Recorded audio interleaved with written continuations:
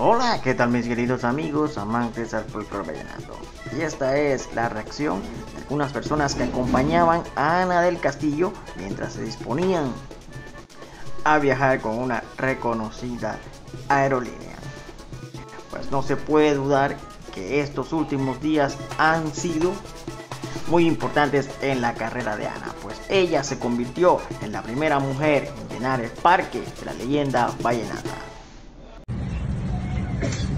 Bueno, un aplauso para Ana del Castillo que llenó el parque de la leyenda vallenata. Un aplauso, un aplauso para Ana del Castillo que acaba de llenar el parque. Muy manito. Estoy arrepentida, ya yo sentí el quemón. Ay, ay, ay, ay, mi gran amor. No me tires al cajón, dame 500 besos, que esta es la solución. ¡Ay, ay!